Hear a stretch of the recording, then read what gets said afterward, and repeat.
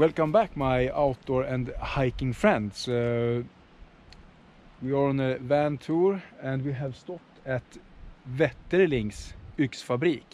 It's an axe factory uh, here in Sweden. So here you see the Wetterling uh, axe factory. It's a famous one. Uh, it's one of the oldest of three.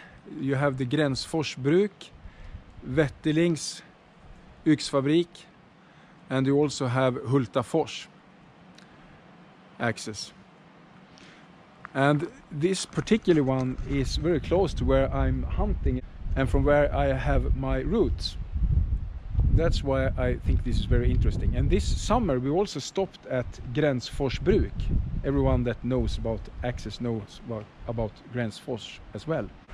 Wetterlings are today owned by uh, Gränsfors Bruk. So they cooperate with a factory shop in here as well and they also cooperate with the manufacturing of. Here we see a part of the factory and uh, the river that originally drive the mill to the forge.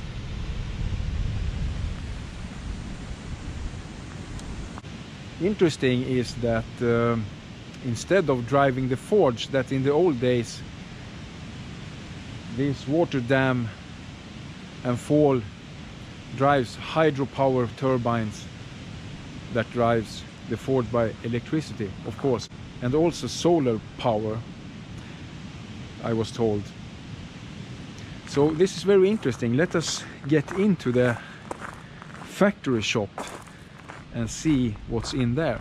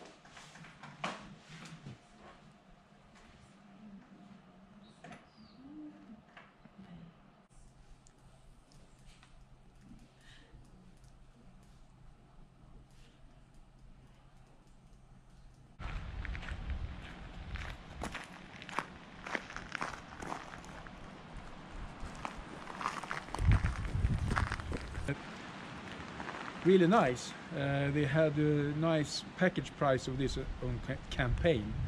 It's uh, don't know what this is in English. It's a klyvyxa, stor klyvyxa, really nice one, and as well a nice outdoor axe from Gränsfors Bruk. And this is actually made here at Wetterlings, at this particular factory. So this is really cool and as well a grinding stone for the axe so nice and local shopping so to speak so i hope you found this video interesting and uh, if you like access and uh, have the opportunity, you should visit these uh, forges, Gränsfors Bruk or Wetterlings. It's really interesting and uh, see you on the next one.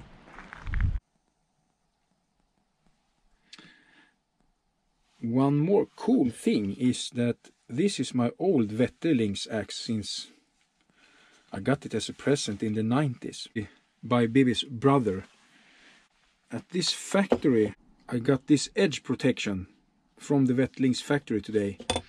That was a bonus on, on this shopping. Really nice of the lady in the store.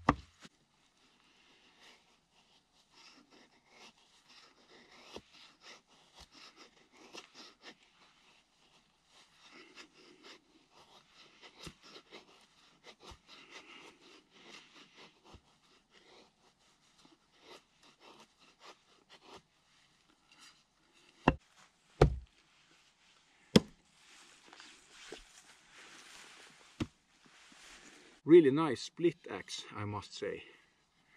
Does the job very easy. Just falls down and split the wood without that much force needed. Really nice. So cool that I got it in a very nice and attractive package price at the factory outlet.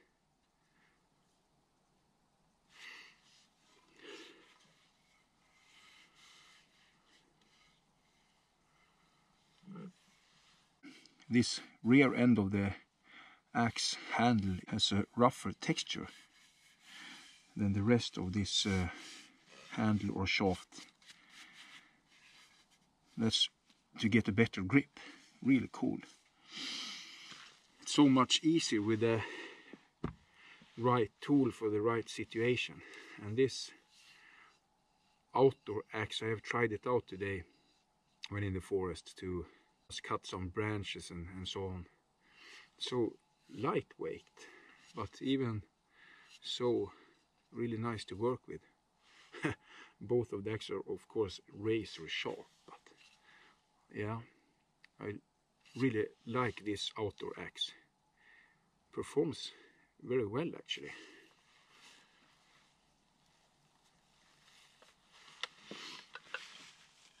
For being for being so small.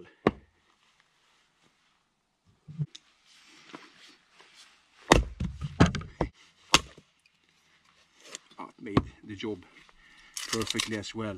These old Wetterlings that I got in the 90s as a gift from uh, my brother-in-law. Perfect little backpack axe in the forest as well. I think this one will be my new favorite actually.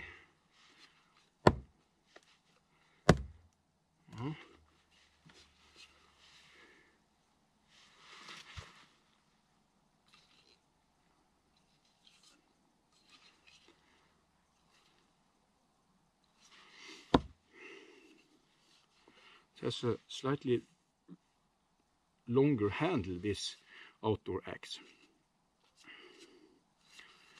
Really nice. See?